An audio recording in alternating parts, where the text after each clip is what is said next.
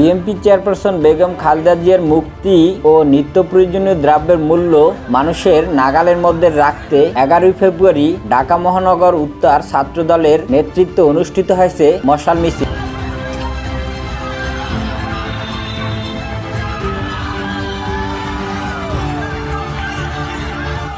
মশাল মিছিল থেকে সরকারকে উদ্দেশ্য করে বলা হয়েছে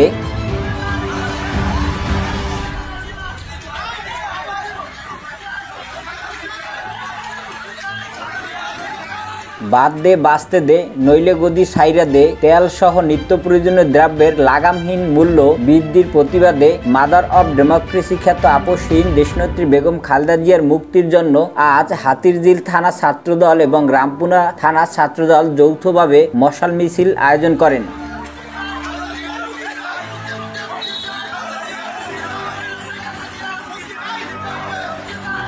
সেখান থেকে ঢাকা মহানগর উত্তর ছাত্রদলের আহ্বায়ক জসিম শিকদার, রানা, প্রভাবশালী যুগ্ম আহ্বায়ক বাসিরুল ইসলাম খান সহ ঢাকা মহানগর উত্তর ছাত্রদলের অন্যান্য নেতৃবৃন্দ নেতৃত্ব দেন।